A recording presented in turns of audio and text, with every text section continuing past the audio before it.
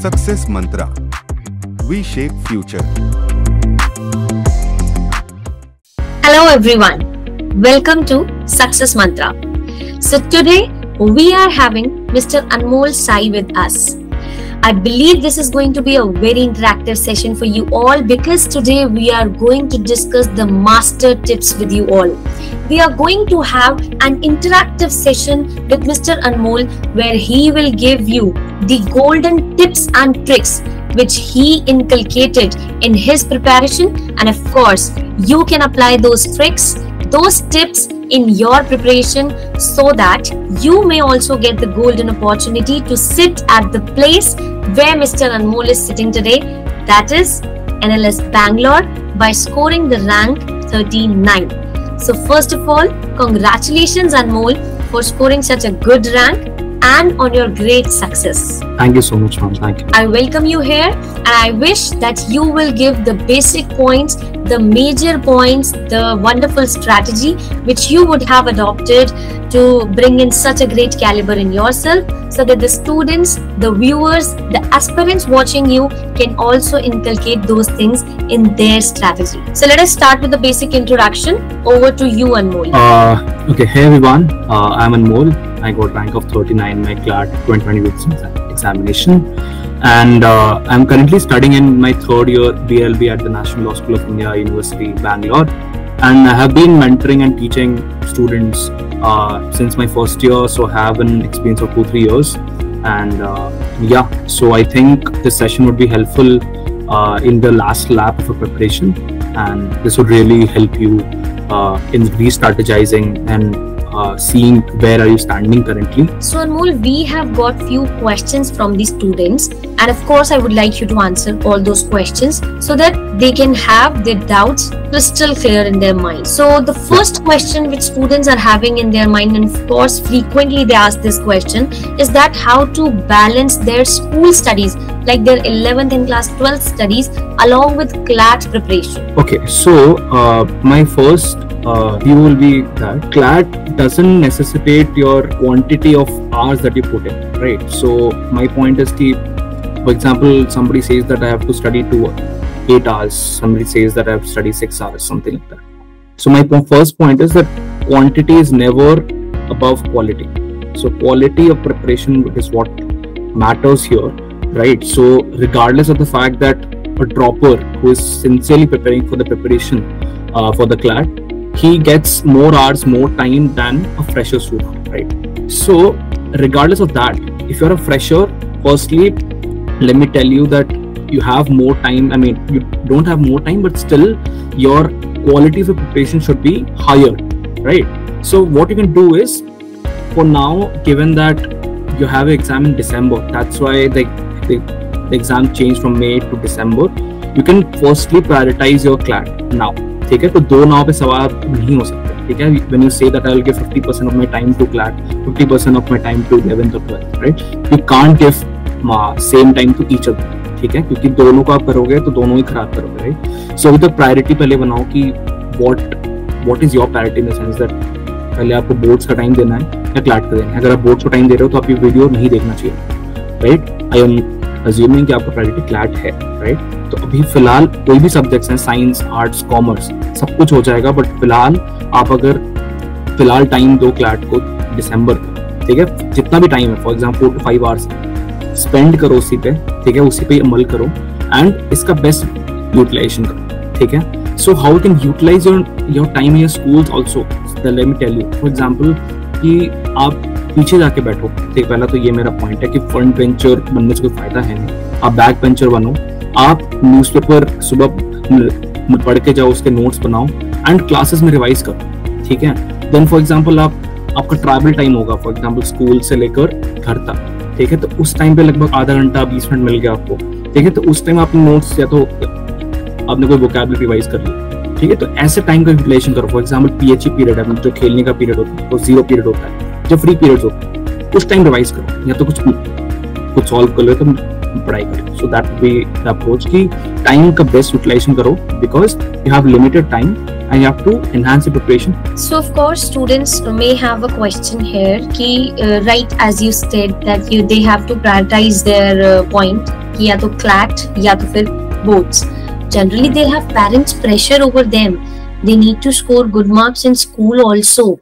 they are having their unit tests they are having their midterms and of course uh, clat falls in the month of december and at that particular moment they are having their pre-boards so how can they console their parents for not scoring good in schools and then they'll directly uh, get a good rank in uh, law entrance examination how will parents be satisfied there okay uh, so parents ka the solution hai ki how to convince a parents see it's so it's to, so it's totally dependent on you to how you convince your parents because बहुत difficult होता है कैसे करोगे आप right because they have more experience they will say कि हमें ज़्यादा हमने ज़्यादा दुनिया देखी है तो we don't have an experience we don't have anything to show them कि अच्छा ये करना चाहिए होगा सो देखो इफ दे डोंट से कि चलो कि भाई आप मतलब बोर्ड से फोकस करो तो पहला चीज़ तो ये उनको बताओ कि भाई बोर्ड से उनको कुछ होने नहीं वाला ठीक है now now if you get great marks in boards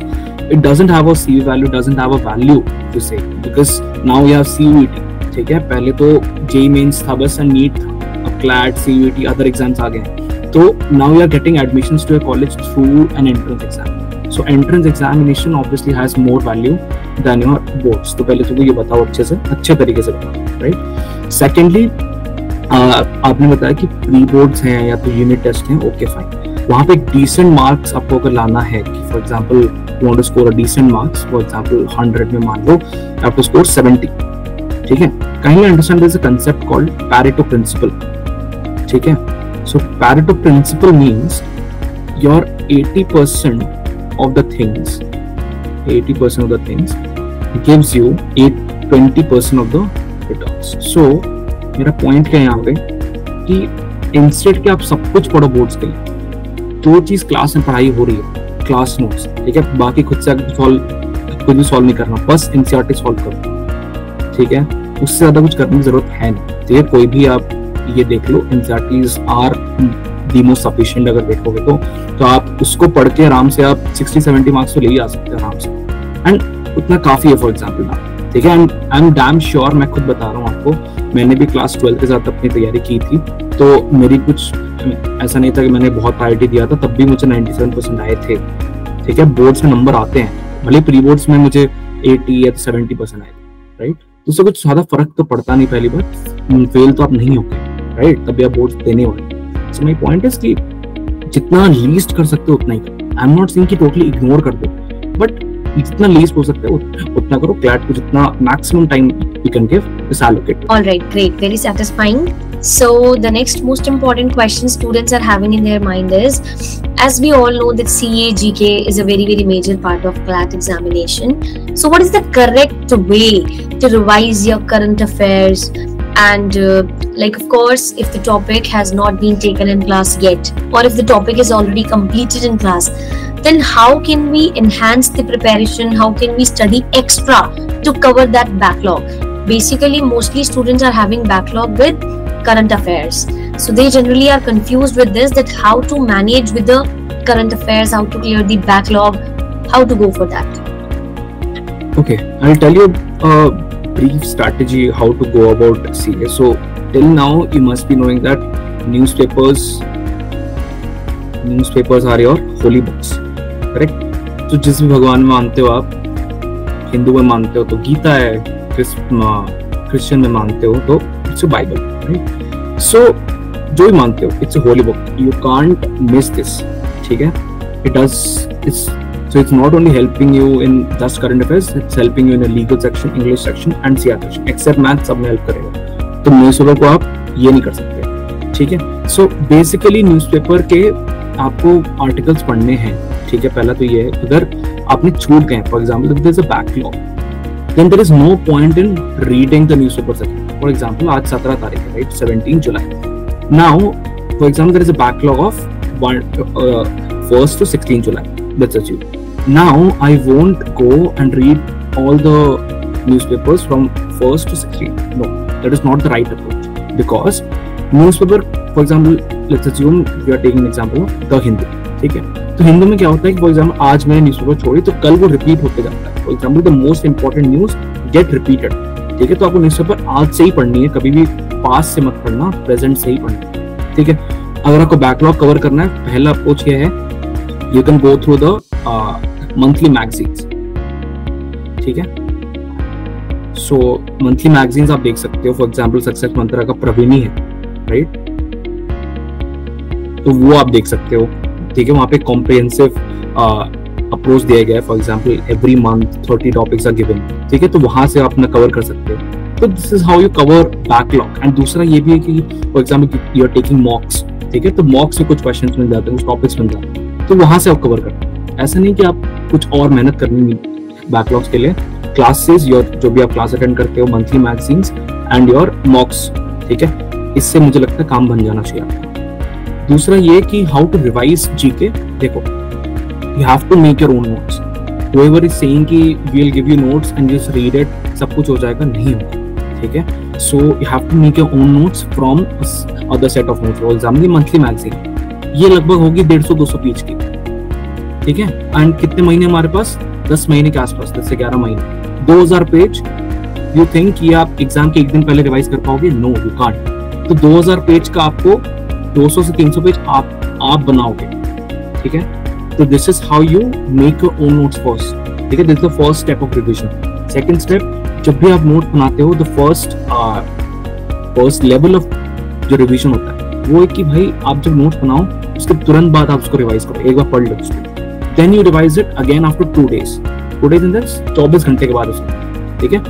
you revise it today then after twenty four hours then उसके वीक में फॉर एग्जाम्पल ये वीक खत्म हो जाता है राइट सैटरडे संडे आता है just before you mock you start revising things ठीक है तो वन टू थ्री एंड हर एक महीने के बाद आप मंथली मैगजीन से रिविजन भी करते हो तो monthly magazine are use for two purpose either for backlogs और फॉर रिविजन ठीक है तो ये आपका साइकिल होना चाहिए रिविजन का ऐसे नहीं कि बस आज बैठे तो सारा पढ़ लिया नहीं होता भाई मतलब कैसे होगा समझो वो एक प्रोसेस है आप डायरेक्टली रिजल्ट पे पहुंचोगे तो नहीं हो पाएगा ना या so this would be my answer